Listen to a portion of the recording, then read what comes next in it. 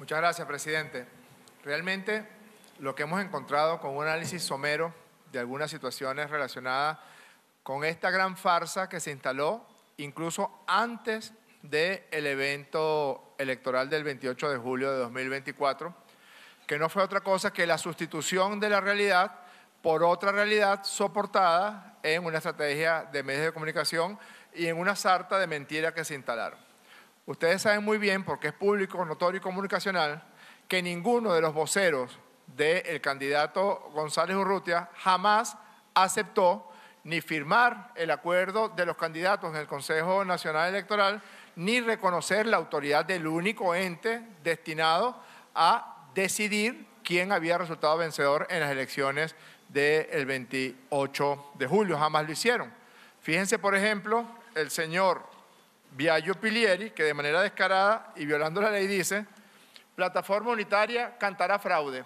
No reconocerá resultados del CNE, sino sus propias actas. Y ya vamos a ver ese tema de ese basural que encontramos, que son las supuestas actas que ellos presentaron. Miren el video del señor Pilieri para que vean cómo él reniega del poder electoral. Vamos a tener las actas de las 30.026 mesas, de los más de 15.000 centros de votación, en las más de 1.100 parroquias, de los 335 municipios, y vamos a respetar lo que esas actas digan en un proceso que tiene que ser libre, democrático y transparente de ese día. Lo que digan nuestras actas. Ya vamos a ver lo que esas actas dicen. Hay una cosa curiosa, y es que el señor Edmundo González Urrutia, en la noche del 29 de julio, pone a la disposición de las venezolanas y los venezolanos una página web donde iban a guindarse supuestamente unas actas con los resultados electorales. Resultados presidenciales Venezuela 2024. Qué curioso que el día antes de las elecciones, el 27 de julio de este año 2024, fue adquirido ese dominio, fue comprado, fue alquilado por un año desde el 27 de julio del 24 hasta el 27 de julio del 25. Es decir, ya ellos habían decidido no acatar el resultado del Consejo Nacional Electoral, sino que habían montado una pantomima de una especie de Consejo Nacional Electoral paralelo a través de esta página y el dominio fue adquirido el día antes de las elecciones. Jamás estaban en disposición de aceptar lo que el árbitro electoral legalmente decidiera. Aquí están todos los datos, fue con una página comprada en el Reino Unido, en Gran Bretaña, cuál es el, servidor que dispone, que por supuesto es de Amazon. Jeff Bezos también está en la jugada del golpe de Estado. Hay otra cosa que también es muy interesante.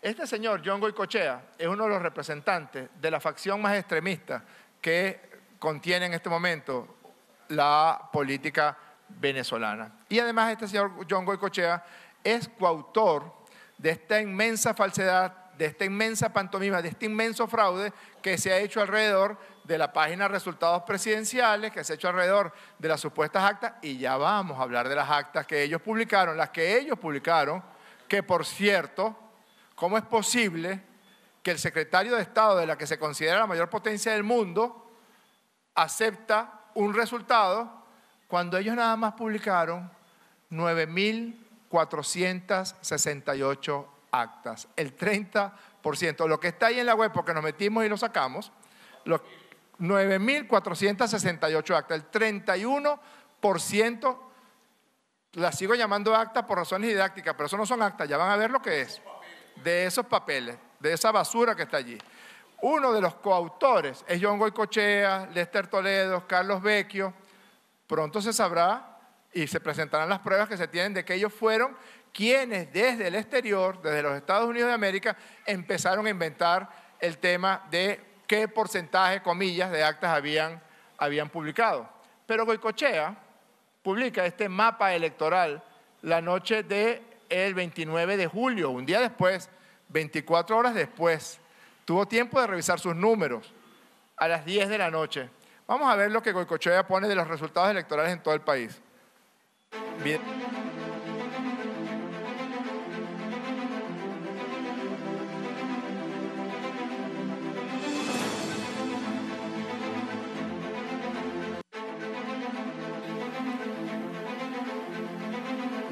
Sustituyendo al CNE, publica resultados donde ellos ganan hasta en Trinidad y Tobago, en todos los estados del país, en todos los municipios, en todas las parroquias.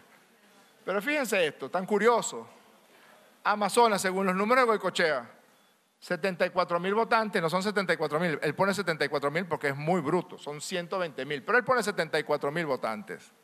Si usted divide los votos que le asignan a González Urrutia en Amazonas, 46.699, entre el número de votantes que él coloca da 63%, 63,00%. Si divide los votos que le asignan al candidato Nicolás Maduro, 22.238, da 30%. Qué curioso que en los 23 estados del país, González Urrutia tiene 63% y Maduro 30%. Es decir, en La Guajira, en Amazonas, en Sucre, en Anzuategui, en Caracas, exactamente el mismo resultado. Eso es matemáticamente imposible, sociológicamente imposible, antropológicamente imposible. Aquí lo tienen. En todos da 63 a 30. En los 23 estados del país y en los 305 municipios del país. Pero esto no es nada. Esto es solamente digamos, los alrededores del fraude que cometieron. Aquí la señora Machado dice, tienen el 73% de las actas y uno se pregunta, ¿por qué se enredaron tanto con los porcentajes de las actas? Ya vamos a ver por qué. Mira el video de cuando se enredan con el número, porcentaje de actas que habían supuestamente registrado en esa página web, ayudado por Elon Musk, por Jeff Bezos, por Mark Zuckerberg, y ni siquiera pueden poner las actas, ayudados por los tres hombres que supuestamente dominan el panorama electrónico del planeta. Adelante. En este momento tenemos más del 40% de las actas. Debo decir algo, el 100% de las actas que transmitió el Consejo Nacional Electoral las tenemos. Aún no han sido entregadas la mayoría de las actas. Tenemos el 73.20%.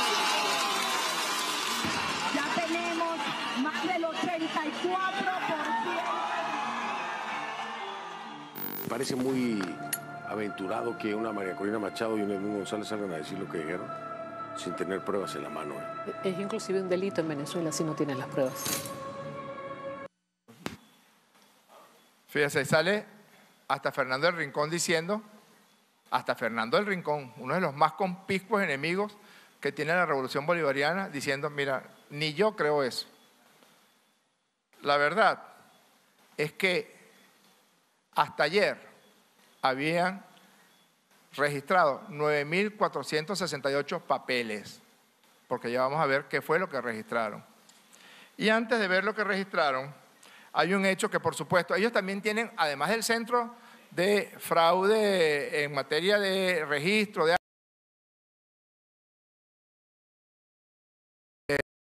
Martínez, arroba Pusca, y donde ellos siempre está él justificando lo injustificable. Y la verdad es que él jamás ha tenido ninguna responsabilidad en ningún ente, electoral del mundo. Es pura mentira. Y él le montó a Paco Palmieri, el embajador norteamericano en Bogotá, él le montó el centro comunicacional y de cómputos, donde desde allá supuestamente iban a decidir el destino de la elección. Antes de eso, fíjense, en Venezuela y en otras partes del mundo, supongo que es así, todos los años se depura el registro electoral. ¿Qué quiere decir que se depura el registro electoral? Todos los años se revisa a las personas que están en el registro electoral y se compara con el registro de venezolanos fallecidos y se saca del registro electoral a aquellos venezolanos o venezolanas que hayan fallecido ese año. Antes no ocurría así. En la Cuarta República se dejaba a los muertos dentro del registro electoral para poder forjar las actas y forjar los resultados y ponían, eso es una cosa eh, coloquial muy tradicional en Venezuela, ponían a los muertos a votar. Eugenio Martínez dijo, no, es que no, no es que están diciendo que la persona votó o no votó, solamente están viendo en qué mesa votaba. Yo quiero poner un ejemplo muy doloroso para mí, porque era un gran amigo mío, Ricardo Durán, periodista venezolano, asesinado por bandas violentas de la oposición venezolana. Ricardo Durán fue asesinado en el año 2016. 17, 18, 19, 20, 21, 22, 23, 24. Han habido ocho depuraciones del registro electoral entre el año 2016 y el año 2024. Y no solamente eso, entre el año 2016 y el año 2024 ha habido cinco elecciones. Cada vez que hay una elección en Venezuela, se audita el registro electoral y si aparece algún fallecido dentro del registro electoral, tiene que ser sacado del registro electoral. 8 más 5 son 13 ocasiones desde que asesinaron a Ricardo hasta el día de hoy. Son 13 ocasiones en que se depuró el registro electoral y seguramente debió haber, sido, debió ser sacado del registro electoral. Pero usted se mete en esa malhadada página y pone la cédula de Ricardo e inmediatamente pone en la mesa en la que supuestamente vota Ricardo. ¿Cómo va a votar si lo asesinaron en el año 2016? Si ellos mismos lo mataron en el año 2016. ¿Cómo va a votar? Y como este ejemplo, hemos encontrado cientos y cientos en las redes sociales. Es decir, Eugenio, no tienen un registro electoral confiable ni decente en esa página web. Tienen toda la gente que vota en Venezuela, supongo yo, desde el año 1900 hasta la fecha. Es decir, eso ya tiene un vicio tal de nulidad que hace imposible que uno considere alguna seriedad en eso que ustedes están mostrando. Aquí están los detalles de cómo hicieron para contratar sicarios y asesinar a Ricardo Durán. Ahora vamos a lo que ellos llaman actas. Hay un principio fundamental en cualquier elección automatizada y es que el 100% de las actas deben estar perfectas. No puede haber ni siquiera un acta dañada. No puede haber ni siquiera un acta mutilada. No puede haber ni siquiera un acta sin datos. No se puede, porque eso invalida todo el proceso. Si hubiera una, una, aquí hay miles, de las 9.468 actas que ellos presentaron. Aquí un acta, fíjense, en un acta se coloca los miembros de las mesas tienen que firmar y firman en la máquina de votación. No es que firmen en un papel, no. La máquina de votación se convierte en pantalla y firman los miembros de la mesa, firman los testigos y firma, y esto es muy importante, el operador de la máquina, que es el que suscribe que en efecto ocurrió el acto allí. Máquina sin firma del operador. Máquina sin firma del operador acta, perdón, papel sin firma del operador, papel sin firma del operador, perdón, papel sin firma del operador, como esto en miles. Todo eso es lo publicado en el mamarracho que hicieron. Sí, sí, lo, sacamos de allí, de resultados electorales 2024. Ellos apurados, desesperados, improvisados, empezaron a publicar un poco de cosas y se hundieron con lo que han publicado. Espero que lleven lo que tienen, señor González Urrutia, que usted tenga un poco de honor por su familia y por el país, lleve lo que usted dice que son actas al Tribunal Supremo. Y allá nos vemos. Continúe, por favor. Miles de ejemplos de actas sin firmas del operador de la máquina.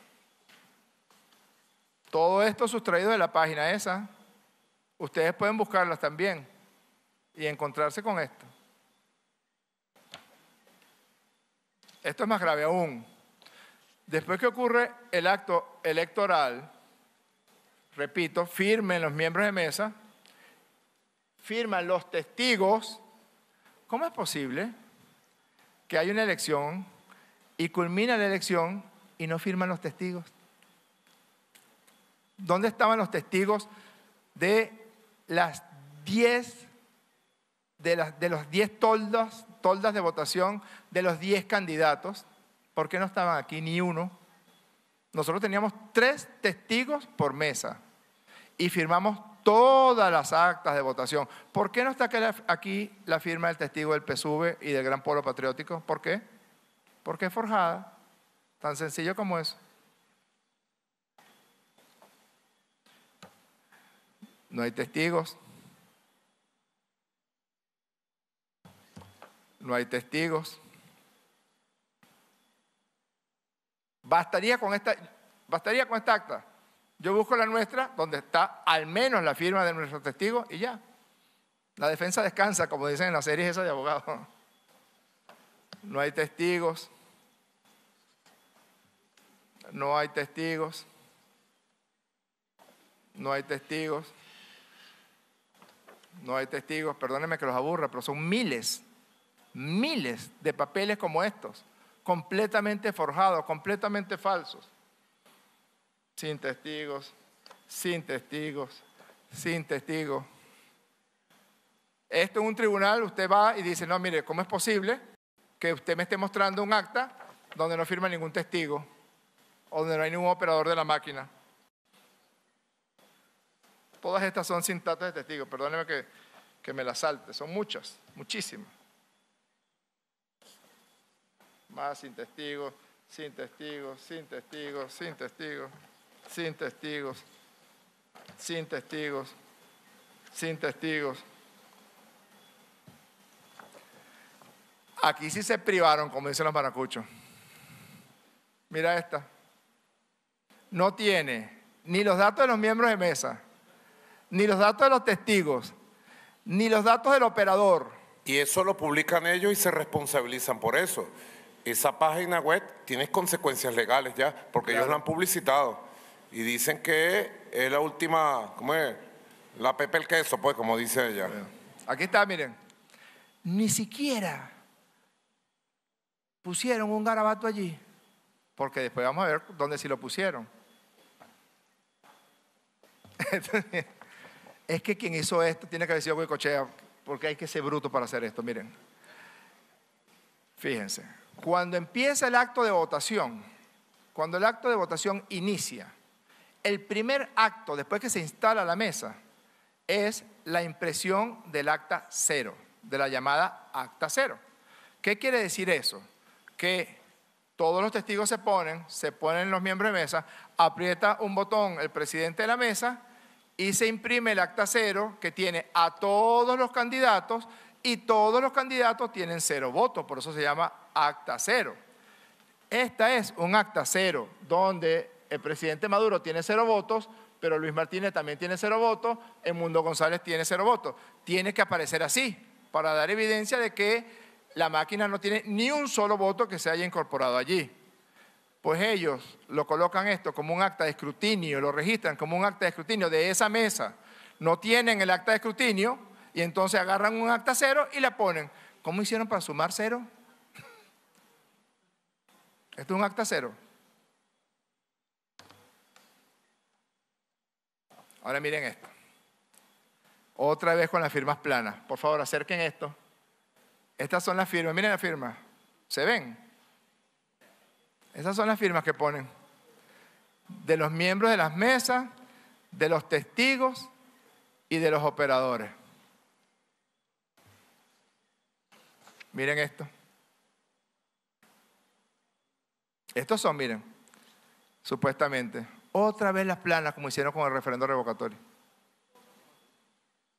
Claro, porque quien hizo las planas del referendo revocatorio es la misma empresa que perpetró esta farsa, que es la empresa Súmate. Pero todavía ni siquiera han aprendido.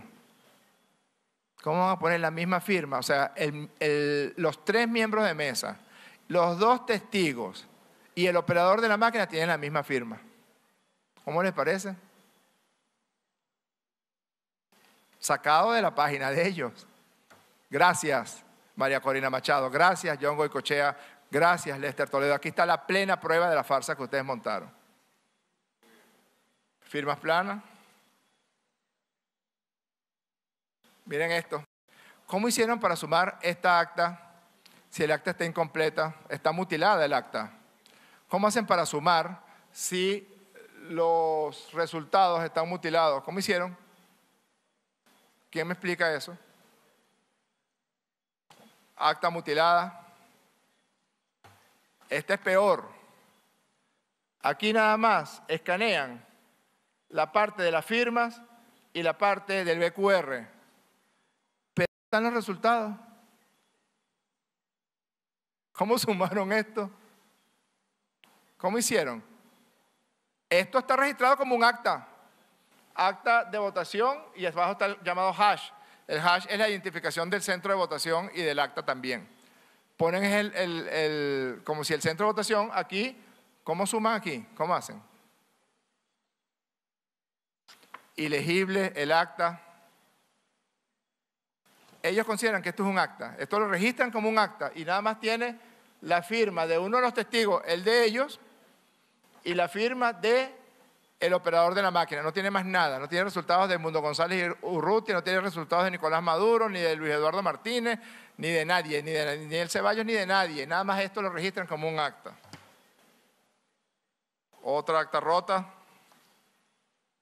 Aquí hay un acta muy curiosa porque nada más registran, eh, registran un grupo de candidatos y otros no. Y cuando vienen a contar los votos del presidente Nicolás Maduro, están los votos de la mitad de los partidos que lo apoyan y la otra mitad no existe. Pero no, súmalo. Esto es pura basura. Esto es, esto no hay manera de que ni- ningún poder electoral, ninguna comisión electoral para escoger el centro de estudiantes de un liceo en Naguanagua pueda aceptar esto como un registro de un evento electoral. Y con esta basura, Blinken dijo que había ganado González y Urrutia. Le vol- volvieron a hacer pasar una vergüenza, secretario Blinken.